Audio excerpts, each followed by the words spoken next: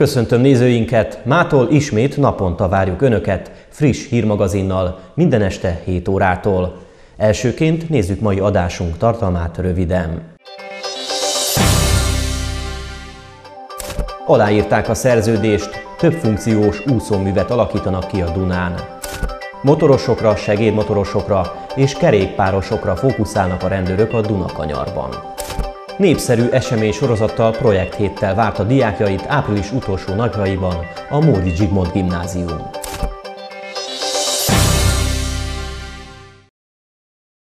Szentendre város képviselő testületének áprilisi ülésének elején elfogadták a képviselők a lejárt határidejű önkormányzati határozatok végrehajtásáról szóló jelentést, melyben többi között az is szerepel, hogy a testület támogatja az intézmény korszerűsítési program első ütemének megvalósulását, és elindítja a megvalósuláshoz szükséges előkészítési és tervezési folyamatokat.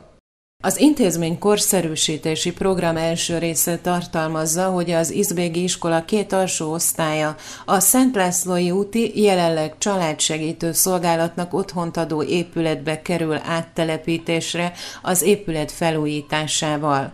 A családsegítő szolgálat a Hold utcai óvoda alsó felújítandó épület részében kap új elhelyezést. A Mentálhigiénés Központ a VSN ZRT telephelyén lévő irodaház ház földszintjén kap új elhelyezést. A zeneiskola számára átépül és felújításra kerül a Dunakorzó 18 szám alatti irodaépület. A tervezésre a szerződés aláírásra került, a tervezés jelenleg már zajlik. Emellett az is szerepel a jelentésben, hogy pályázatot adott be a város az MLS országos pályaépítési programjára a Közúzó utcai sporttelepen 44x64 méter méretű műfüves labdarúgó pálya megépítésére, melyhez a szükséges önerőt a város 2016 évi költségvetésében 20 millió 400 ezer forint összegben biztosítja. A képviselőtestület hozzájárul a több funkciós úszómű létesítéséhez a Dunán, a Görög utcával szemben, azzal, hogy az úszóműnek rendelkeznie kell olyan térséggel, mely bárki által szabadon látogatható, olyannal, amely evezősök számára, valamint kis kapacitású motoros hajó számára is szabad kikötést tud biztosítani, valamint rendelkezhet vendéglátó funkcióval is. Az önkormányzat kiadta a tulajdonosi hozzájárulást a fejlesztéshez. Motorosokra, segédmotorosokra és kerékpárosokra fókuszálnak a rendőrök a Dunakanyarban. A tavaszi jó időben rengeteg motoros dönt úgy, hogy felkeresi az ország legszebb szerpentinjeit, és próbára teszi járművek képességeit. Sokan a Szentendre környéki kanyarokban szeretik elengedni magukat, amivel természetesen a rendőrök is tisztában vannak. A helyi rendőrök áprilistól októberig havonta tartanak átfogó közúti ellenőrzést, hogy megelőzzék a baleseteket. Idén április 17-én volt az első. Az akkori 8 órás razziában a Szentendrei és a Pest megyei rendőrfőkapitányság motoros rendőrei mellett az első Motorvéd Polgárőr Egyesület tagjai is részt vettek. Egyenruhásból 8, polgárőrből 13 alkotott vegyes járőrpárokat, és így ellenőrizték a Szentendre környékén közlekedőket. A megállítottak nagyjából harmada volt motoros. Pénzbírsággal 36, közigazgatási bírsággal 17 szabályszegő sofőrt sújtottak. Egy motoros pár ellenőrzése során kiderült, a motort vezető férfinak és a jármű női tulajdonosának sincs érvényes vezetői engedélye az adott kategóriára. A járművüket egy jogosítványjal motorozó ismerősükre kellett bízniuk, s a szabályszegők gyalog indulhattak haza.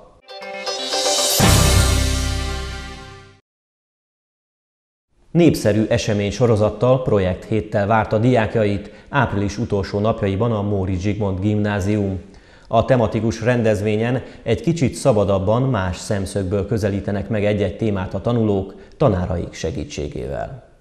A második fél évben is szerették volna megszólítani a kilencedikes diákokat a tanárok, hogy olyan művészet és az órarendben nem szereplő tantárgyakkal is foglalkozhassanak, amiknek közösség összetartó erejük van, és egyéni tudásukat is fejleszti. Az alapötlet az az, hogy hát a tanulóknak a tanév során nagyon sok, nagyon leterheltek, tehát nagyon és nagyon kevés a tananyag mennyisége miatt ez olyan lehetőség, hogy egy kicsit jobban bepillantást nyerhessenek, jobban megtapasztalhassák, megérezhessék egy tantárgynak vagy egy témakörnek a jellemzőit. Tulajdonképpen ezen a projekt héten éppen erre van lehetőségük, tehát arra, hogy bizonyos területekben aktívan részt vegyenek, alkossanak valamit a folyamat végén, beszélgethessenek, kapcsolatban legyenek egymással, és hát jobban megismerhessenek egy bizonyos részterületét, vagy a tudományoknak, vagy az iskolának. Úgyhogy ilyenkor nagyon-nagyon sok fajta tantárgy van. Elsősorban tagozati profilhoz is illeszkednek ezek, és hát vannak, aki, minden tanulót érint. A rajz, a művészet történetek, a dráma az, amelyik mindegyiküket érinti, és hát mindegyikük valamilyen módon, valamilyen laborgyakorlaton vesz részt, vagy a kémia, vagy a fizika, a kísérletezgetések, a földrajz esetében ilyen terepgyakorlaton, vagy külsős helyszíneken is részt vesznek különböző külső helyszínekre is elmennek, állatkertben voltak, és ott volt egy ilyen interaktív, nem egy, hanem több interaktív foglalkozás a részükre. Tehát azért az egy folyamot érint, tehát a programok is azért úgy gondolom elég változatosak. A tanár-diák kapcsolat, illetve a diák-diák kapcsolat azért ennek egy kiemelt területe. Egy klasszikus tanóra keretei között azért erőteljesen korlátozottak a lehetőségek. Törekszünk nyilván erre, meg hát tanórák között is nagy különbségek vannak, de arra, hogy például egy konfliktuskezelő tréning vagy egy dráma foglalkozás keretében drámapszichológiai eszközökkel egyáltalán találkozhassanak, arra azért nem nagyon van lehetőség, hetedik órában mondjuk egy közönséges tanítási héten, és hát ezek a, ezek, ezeket a heteket erre is felhasználjuk. Nagyon népszerűek, nyilván ennek több oka is van, hát az egyik oka, hogy azért ez egy kis könnyebbséget is jelent, hiszen sok időt vannak itt, akkor is nincs házi feladat például ezen a héten, nincsenek klasszikus számonkérések, nem írnak dolgozatot, nem felelnek, ez önmagában véve egy ilyen aktív pihenésnek fogható fel ez a hét, és azon kívül pedig hát olyan dolgokat is csinálhatnak, ami azért többnyire érdekli őket. Nyilván változóak, tehát van, akit ez jobban, az kevésbé, de olyan nincs, hogy mindenkit százszerzelék sikerüljen bevonni, bár törekszünk erre, de összességében azért hát várják mindig a projektet a tanulók. A diákok a projekt hét előadásain megszerzett ismereteiket a mindennapokban, a gyakorlatban is tudják majd alkalmazni. Egész héten voltak tömbösítve ilyen művészetekkel kapcsolatos például, tehát rajz és ének órák, és hát ezeken nagyon jó volt részt venni, úgyhogy ilyeneket, mivel egész évben nekünk nincsenek ilyen óráink, ezért ez így most kifejezetten jó volt, hogy így megkaptuk ezt így egyben.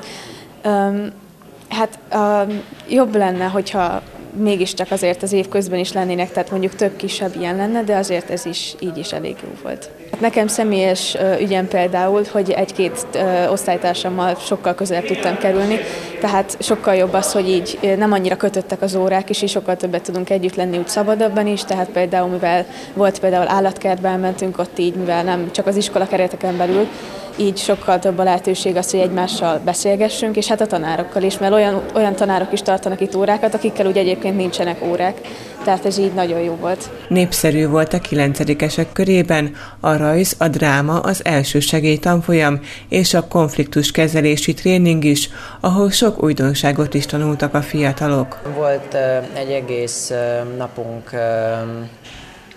hát művészettörténet és rajz órákra, Tulajdonképpen a projekt hetek, heteken olyan órákat tartunk meg, amik évközben nincsenek megtartva, és hát én személy szerint szeretek rajzolni, úgyhogy nekem tetszett ez a nap, mert egy külön témában tudtunk mindenféle képeket festeni, rajzolni. Az amerikai elnökválasztással kapcsolatos előadáson is részt vehettek a diákok, ahol a jelen világi politikai életével is megismerkedhettek. Sőt, a szanátorok bőrébe is belebújhattak a résztvevők egy szerepjátéknak köszönhetően. Javarészt az amerikai elnökválasztás folyamatáról hallottunk. Kimondottan érdekes témában a tanácsos úr adott tartott egy előadást, lehetett nyomóban hallani az akcentusát, de így csak élvezhetőbb volt szerintem. Hát, és még a végén volt egy tulajdonképpeni eljátszása ennek a választásnak, hogy lássuk, hogy hogyan zajlanak le a folyamatok. A projekt héten mi volt a kedvenced? Ú, hát azon szerintem az elsősegély órák nem voltak olyan monotok, de egyik óra sem volt úgy igazán, szóval nem lehet annyira kiemelni, mert rengeteg érdekes dolgon vehettünk részt, és rengeteg érdekes dolgot csinálhattunk, szóval talán még azt tudnám leginkább kiemelni, az elsősegélyt. Mi volt az, ami újdonság volt, amit itt hallottál? Hát például most fel tudok újraéleszteni elviekben, meg hát ilyeneket, hogy hogyan kéne eseteket ellátni, de hát voltak érdekesebb esetek is ott az új elsősegélyen. Ez kimondottan tetszett nekem. A kamaszok életében gyakoriak a konfliktusok, nem csak egymással, de a szülőkkel, tanárokkal is. Az ilyen problémák megoldására egy tréninggel is készült az iskola vezetése. Megpróbáljuk rá játékosra fogni a dolgot. Az az igazság, hogy amikor, amikor 30-35 különböző személyiségű és temperamentumú diák kerül egy csoportba, akkor szinte törvényszerű, hogy kialakulnak konfliktusok. Együtt vannak ezek a gyerekek az egész nap folyamán, és, és adódnak feszültségek persze, amit aktuálisan ott abban a pillanatban nem biztos, hogy meg tudnak oldani. Azért is nagyon jó ez a lehetőség, hogy itt le tudunk ülni, meg tudjuk beszélni ezt a helyzetet. Azzal szoktuk kezdeni ezeket a gyakorlatokat, hogy körbeülünk kis csoportba, itt 15 fő van, csak a fél osztály van egyszerre egy foglalkozáson, és azzal kezdjük a foglalkozást, hogy megkérdezem, hogy mi aktuálisan az a konfliktus, ami jelenleg foglalkoztatja őket, ami a legtöbb feszültséget okozhat esetleg a, a csoporton belül, vagy az iskolában, de akár oda-haza is, vagy akár a baráti körben. És nagyon szívesen elmondják ezeket a konfliktusokat. Nagyon jó erről beszélni, már magában az, hogy, hogy elmerik mondani, hogy egymásnak esetleg elmerik mondani, hogy egymással mi a bajuk. És azért is jó, hogy, hogy ilyenkor térünk vissza erre, mert hogy akkor abban a, ebben a pillanatban ugye nincsenek benne ebben a szituációban, ami a konfliktust okozza, és kicsit távolról, kicsit messziről tudják látni, és sokkal reálisabban meg tudják ítélni, hogy mi az, ami a, a problémát okozza. És ilyenkor közösen megbeszéljük, hogy, hogy hogyan lehetne ezt a helyzetet orvosolni, hát valahogy valamilyen megoldást találunk rá, vagy legalábbis elkezdünk valamiféle megoldást kitalálni, hogy hogyan lehetne ezt a helyzetet kezelni. Ezzel kezdjük általában ezeket a foglalkozásokat, és utána pedig különböző játékos gyakorlatok vannak, ami azt jelenti, hogy van például egy ilyen játékunk, amit nagyon szeretnek a diákok, hogy kis kártyára fel vannak írva különböző problémás szituációk, amiket el kell játszani kis csoportokban, négy fős kis csoportban, különböző megoldási módokkal, és így mindenki kipróbálhatja magát a különböző szerepekben, bele felveheti a szülő szerepet, apa, anya szerepet, felveheti az osztályfőnök szerepét, vagy éppen a problémás diák szerepét, vagy akár az iskolán kívüli problémákat is hozhatnak.